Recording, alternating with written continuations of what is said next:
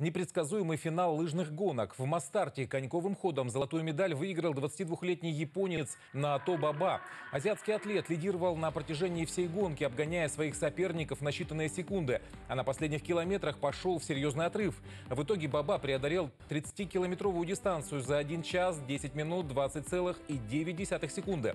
Те, кто внимательно следит за мировыми соревнованиями в лыжных гонках, знают, что ранее Баба уже успел зарекомендовать себя в качестве серьезного конкурента. На последнем молодежном чемпионате мира он стал пятым на классической тридцатке вслед за четверкой россиян.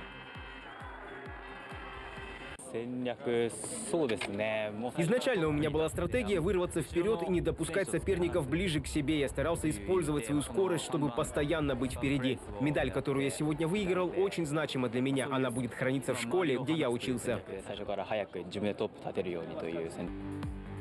Ближайшими соперниками японца были российские лыжники. В итоге бронзу Мастарта взял Илья Прошкин. Серебро у красноярца Кирилла Келевнюка. Он отстал от лидера всего лишь на 30,8 секунды. Уже на финише наш спортсмен признался, что первые круги казались ему легкими, но ближе к завершению трассы бороться за победу становилось все сложнее.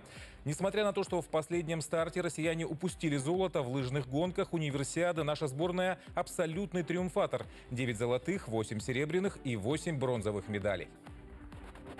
Самом деле, кто ехал первым, это было невыгодно, потому что весь вечер он принимал на себя, и сзади идущим было намного легче идти. Старались работать именно слаженно всеми россиянами, чтобы заехать все три места занять россиянами, но вот это не получилось у нас, к сожалению, так как Боба Нота очень сильный соперник.